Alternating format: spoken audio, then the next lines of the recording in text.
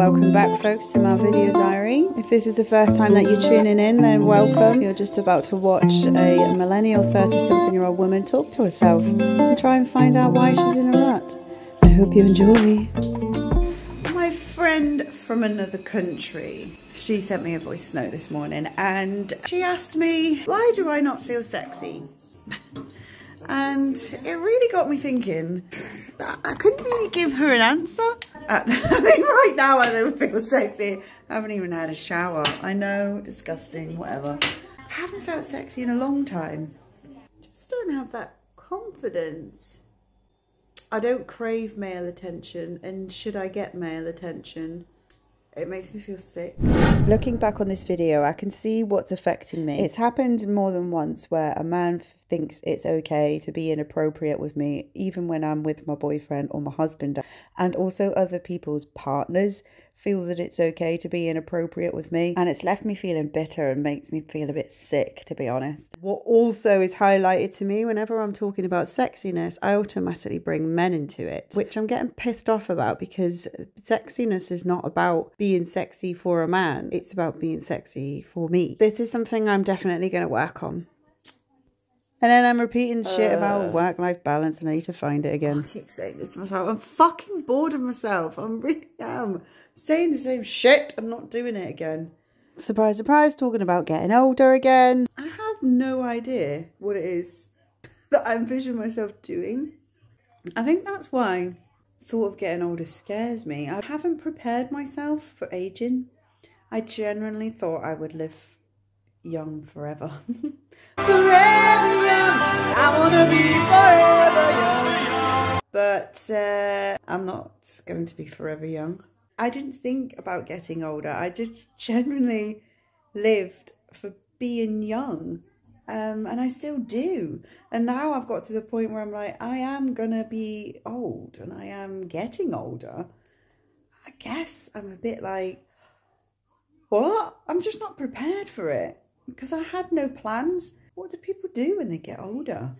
The only time where I've thought, oh yeah, I'm looking forward to getting old is when I, did have a strong vision that me and Jay were going to live in Benidorm in a caravan. I was going to be fat and I was going to be one of those people that didn't wear a bra and I'd just have my big floppy tits out. Um, but I, I wouldn't give a shit. I'd be old and saggy by then, didn't give a shit what anyone thought drinking cheap wine or whatever, I'd be like pure red from the sun because I'm a ginger.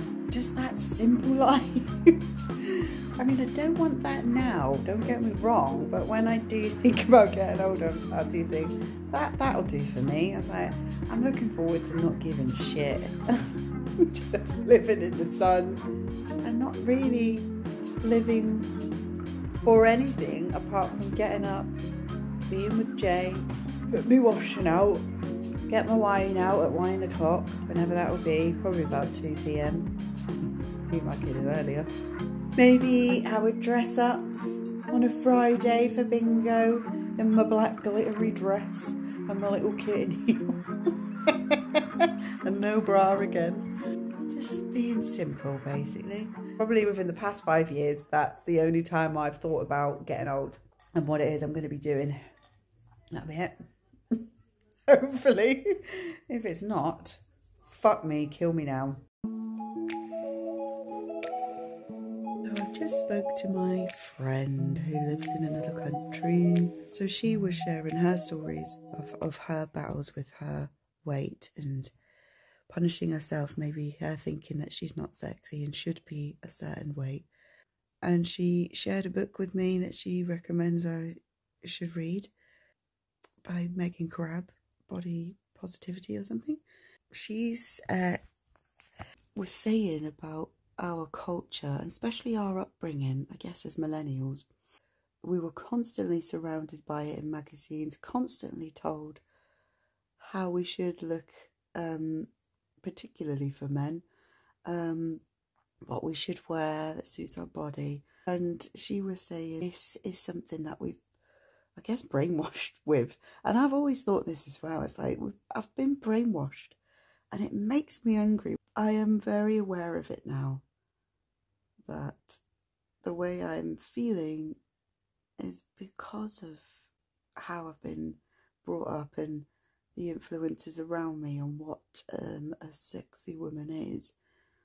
But there's also that part of me that really does support body positivity and really does believe in it. We shouldn't give a shit about how we look. I do believe in that and I do support it. But as soon as I switch that around onto me, just disappears. Um, I then don't believe in it and I stop following it. It's well annoying. Like my friend said, she said it's a massive shift in mindset. It's, is a massive one to tackle. And it is. And I feel quite ashamed of that. I feel quite embarrassed that that that's something that our world has put on us. Not world, but something that our society has put on us and our culture. Makes me sad and it makes me ashamed and, and guilty that I have followed it. Um, I've promoted it. I've done these shitty diets. I've put my body through hell with bloody diet tablets or whatever. I just think it's a shame. You hear of body positivity, but and you think you understand it, but actually, what me and my friend were saying, we don't fully understand it. We get it. I guess we're not fully feeling it.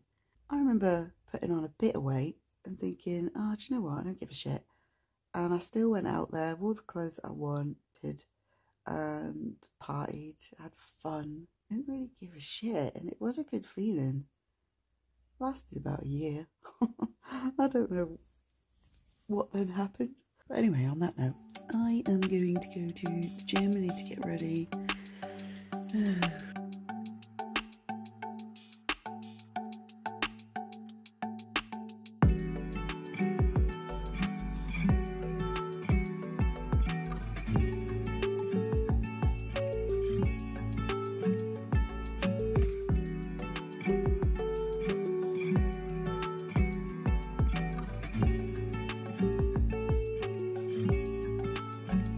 Got me big boots on. My necklace that my sister gave me. Mm, don't know what it means. I think it means good energy or something.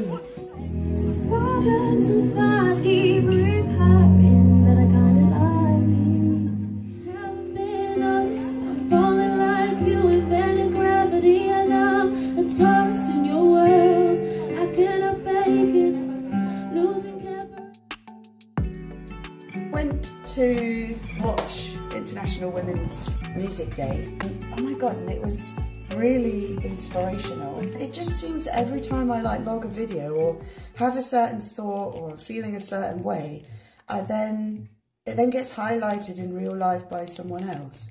Um, or like in a movie that I watch or something.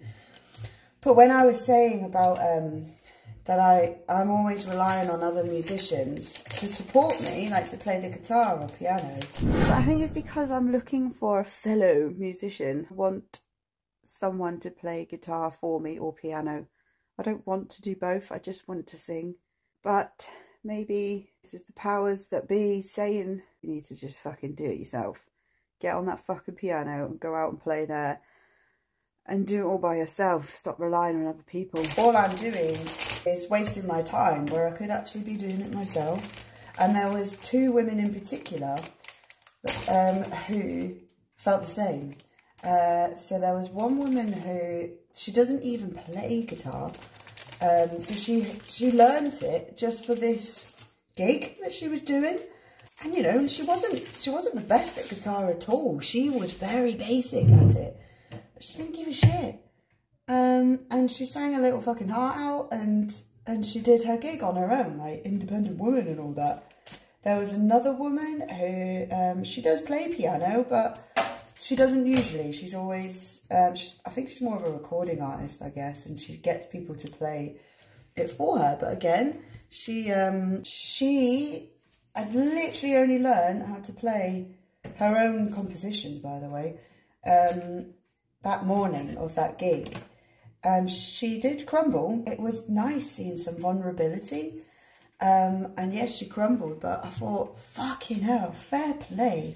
It was new to her. She'd stepped out of her comfort zone.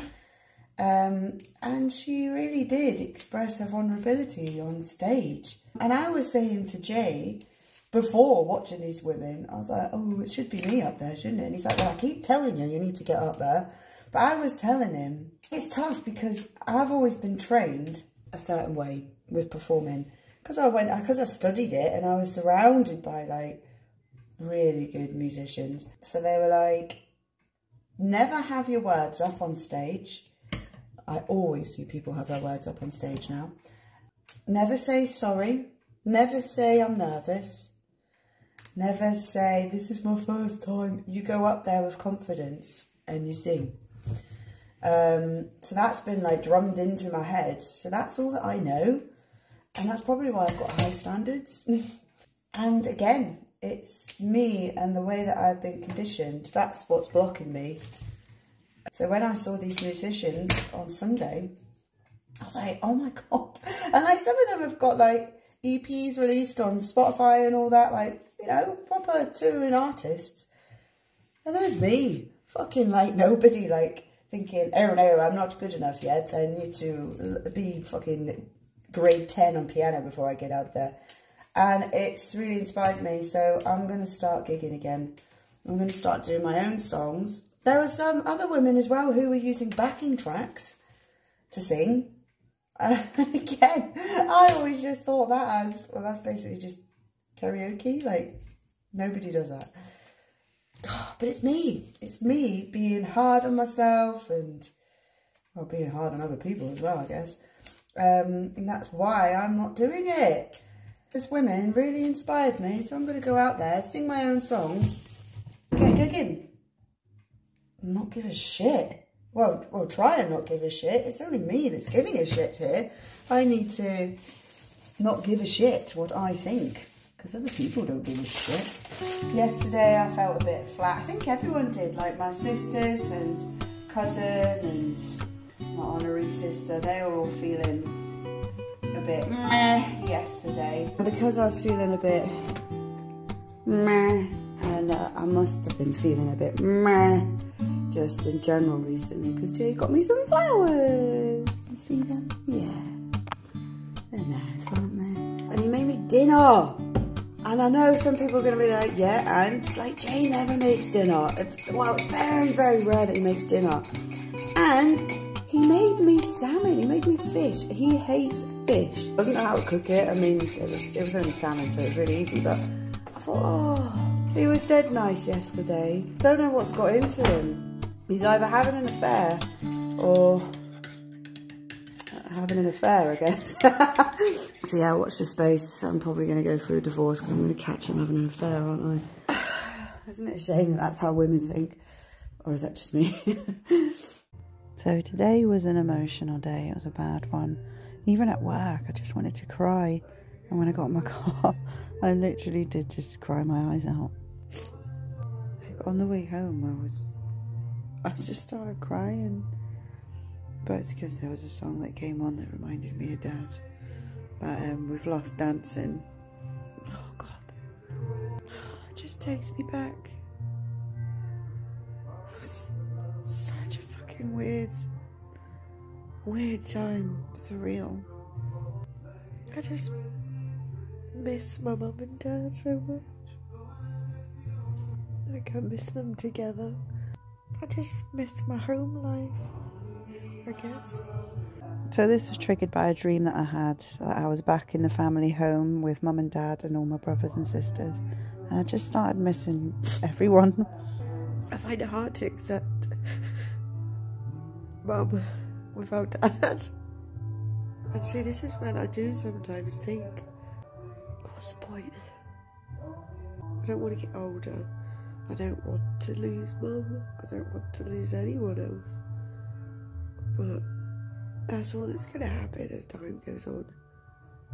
You're just going to keep losing people. I know you're meant to think, oh, think of all the good changes that are going to happen. It's like, I don't know what they are. Whereas I know it's inevitable that I'm going to lose other people. And this is where I do think, I'm not suicidal, but I do think, what's the point? what's the point going on? What am I living for? Whoa, deep man actually woke up singing my own song today. Surely that's a sign it's a good song. And I need to get it finished. So within my new recruitment job, I made my first permanent placement today. Yay! And then I was fucking knackered, surprise, surprise, and me and my good for the soul friend had some chill time. So my good for the soul friend said she wants this picture in her house she really vibes with it. She's like, Can I have that picture, but with your face on the cat? I'll see what I can do. so I was ready to just like fucking curl up in a ball and just be fucking mongoloid. But then my friend, good for the soul friend, called me. She had a certain situation that she needed to talk about. So we spoke on the phone and I was like, oh, I was like, here we go again. I was like, we're going to talk on the phone until like midnight. And then I'm going to think, I may as well have just come round. And she's like, well, I can come pick you up if you want. I was like, okay. I knew it wasn't going to be a late one because I'm fucking knackered. Um, but anyway, it was, it was so nice. She's so good, that one. As in like everything that we think and feel, we just relate. I'm just getting ready for bed she also thinks a lot about where she is in life and she just thinks, right, okay, so I'm spending a shitload of money on my house, doing my house up. For what? To just live in it and just be in a job. Like, so she questions life in that way as well. And so do I. Like, I'm always thinking, what am I doing? What am I doing? What am I working for? I'm working to keep this house afloat. And that's pretty much, oh, I feel that's pretty much it at the moment. Oh, oh, my uh, soul sister's calling me. How lucky am I to have such wonderful friends? so my soul sister called me. She was exactly the same as me in the Good for the Soul sister we just are feeling like we don't really know what we're living for. I used to live for holidays, but now I just feel like holidays are so far out of reach at the moment. It just feels like you're constantly just trying to grab and catch this dream, and it just feels so far out of reach. uh, we really sound so fucking white privilege. we really do. Some people watching this may think, fucking, oh, poor you. White privileged girls complaining. But hey, is what it is. That's what we're doing. Me and my friend, my good for the soul friend, we say we make each other want to do things like live our lives. Not just with me, but she says with other people. She says, when I'm with people and I talk things out, she says, I'm ready to then live and I'm ready to do things. And she says, and as soon as I'm not with them, I revert back being in a rut. And I was like, me too. and me and my soul sister as well were saying we're just fucking fed up with ourselves.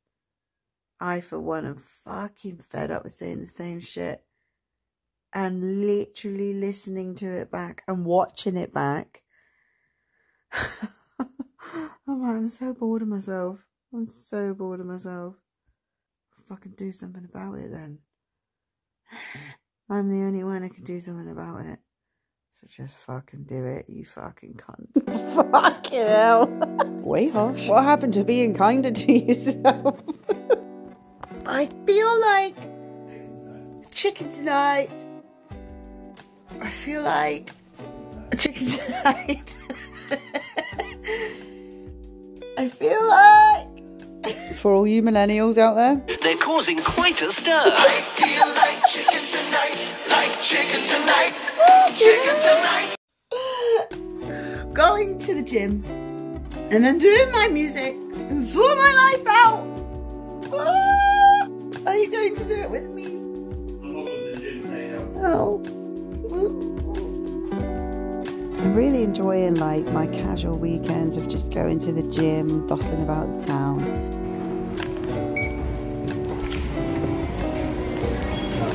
Which usually ends up going to a bar and having a cocktail. God, I genuinely think this bar is now my second home.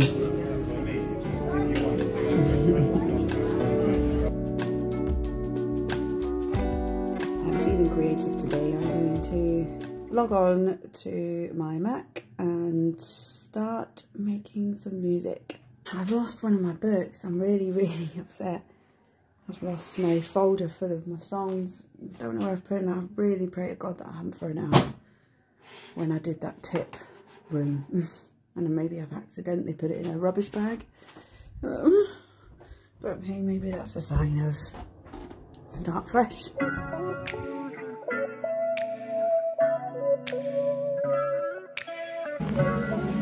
Course on procrastination. Oh, it's so fucking me. Fear of failing.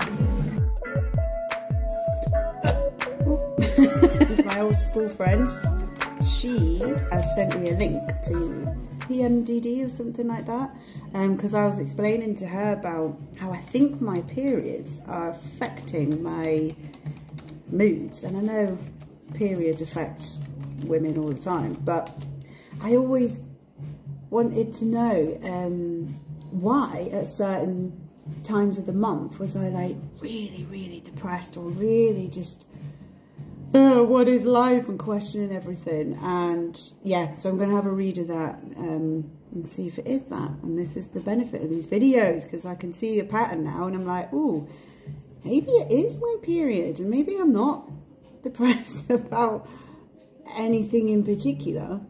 I'm just my hormones are just fucking mental ah, beautiful sunshine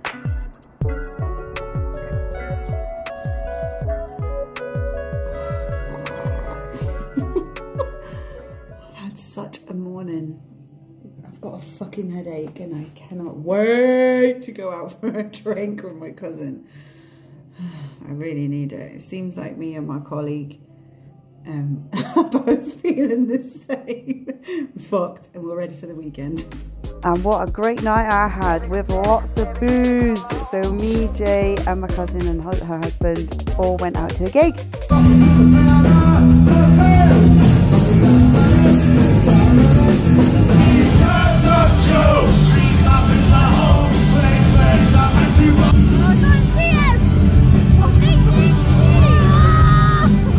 Quite a normal occurrence and I find some random videos of me on the toilet, um, often doing my makeup.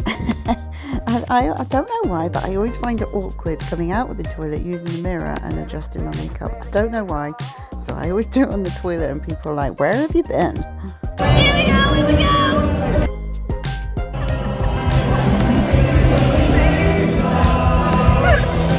That's the silence man from Buffy. We all had such a good night, but my God, were me and Jay hungover. Oh, it was so fucking worth it. Bells are ringing. Oh, right, no one said no. What if we I had the best night at that gig. I had such a buzz, like when you feel the music flow through you. It really took me back to my university days in Brighton and Portsmouth. And then the next day, yes, we were hungover, but it was so peaceful and lovely and good vibes all round. What I have noticed recently is that when I do have a lot of alcohol, I don't get weirded out anymore and I don't get booze blues, which is great. I just get a nice basic hangover. So I woke up from a nice dream again, and in my dream, I found a new place to run, and it's like a magical forest. Every time I wake up from those dreams, oh, I'm miserable. as fuck and it was a miserable day. So I did force myself to the gym because I thought every time I've been to the gym afterwards, I always feel really good and I need to remember this. And then me, Jay, and his friend went for lunch together. Turned out to be a really nice morning and afternoon actually. I was meant to be meeting up with old work colleagues, but I really wanted a day of just not socialising. I'm learning to put me first. Thank you all for watching my video diary and thank you to everyone who's given me advice and suggested books I should read. People who inspire me. I just want to thank you. See you next time.